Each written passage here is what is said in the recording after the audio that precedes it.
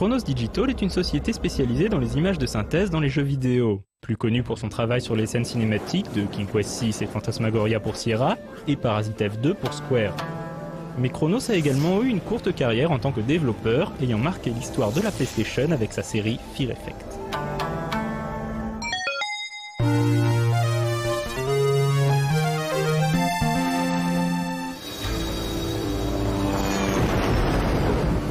Fear Effect narre les aventures de trois mercenaires sans scrupules.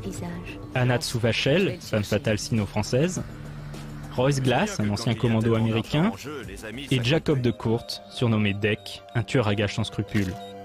Ces trois anti-héros doivent s'infiltrer dans le protectorat de Shang-Chi pour retrouver Wei Ming, la fille d'un chef des triades. Mais Anna, Glass et Deck ne se doutent pas qu'ils viennent de mettre les pieds dans un cauchemar qui les mènera aux portes de l'horreur. Du point de vue du gameplay, Fear Effect est clairement inspiré de Resident Evil. Des décors précalculés dans lesquels évoluent des personnages animés en temps réel. Mais le jeu de Chronos se distingue de son modèle sur de nombreux points.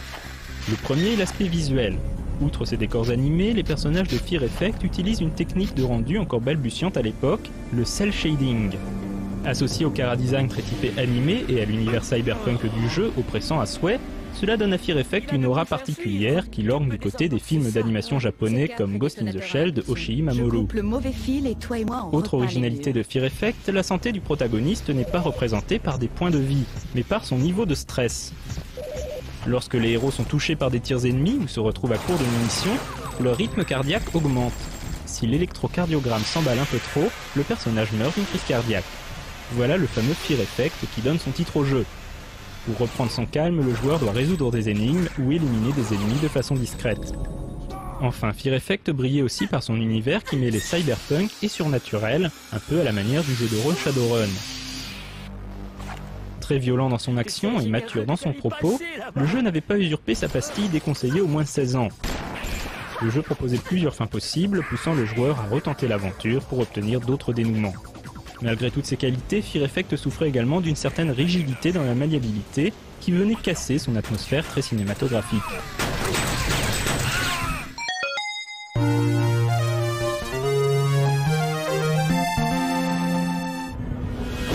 Un an plus tard, Chronos propose Fear Effect 2 Retro Helix.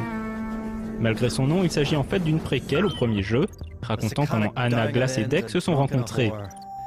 Un quatrième personnage se joignait également à la fête, Rain Shin, une plantureuse jeune femme spécialiste de l'électronique. Tout commence à Hong Kong en 2048, alors que Anna et Rain doivent s'infiltrer dans une soirée mondaine dans un immeuble corporatiste, dans le but de voler un sample d'ADN dans un laboratoire. Ce sera le début d'une aventure violente et sanglante qui les mènera de Hong Kong à New York jusqu'à l'île mythique de Panglai, terre des immortels. Fear Effect 2 était une évolution intéressante de la formule initiée avec le premier épisode. Mais le jeu est sans doute plus célèbre pour son utilisation intensive du fanservice lors de scènes plus ou moins dénudées. Mais le gros coup marketing du jeu fut sans doute de faire de Anna et Rain des amantes, le premier couple lesbien de l'histoire du jeu vidéo. La mise en avant de cet aspect dans la campagne publicitaire du jeu ne fut pas sans susciter la controverse, qui occulta sans doute une partie du potentiel bien réel du titre, en l'associant à la famille des jeux à scandale, c'est-à-dire des jeux bien souvent sans réel intérêt une fois le buzz retombé. Et c'est bien dommage, car malgré son côté outrageusement racoleur, avec ses jolies filles aux décolletés avantageux et à l'humeur tactile, Fear Effect 2 proposait également une intrigue très intéressante explorant la question des manipulations génétiques, du génome humain et de la place de l'homme dans le grand ordre des choses. De plus, les graphismes très fins du titre étaient certainement parmi les plus beaux de la première PlayStation. Malheureusement, le jeu souffrait toujours des lourdeurs de sa maniabilité de Survival Horror, même si cette fois-ci, il était possible de tirer en se déplaçant.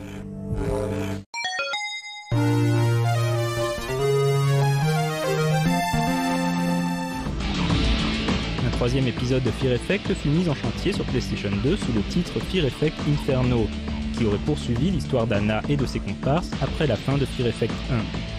Malheureusement, après deux ans de développement, des problèmes financiers rencontrés par son éditeur Eidos conduisirent à l'annulation du projet. Des rumeurs persistantes évoquent un potentiel retour de la franchise sur console next-gen ou même au cinéma, mais avec le rachat d'Eidos par Square Enix, rien n'est moins sûr. So, was it worth dying for?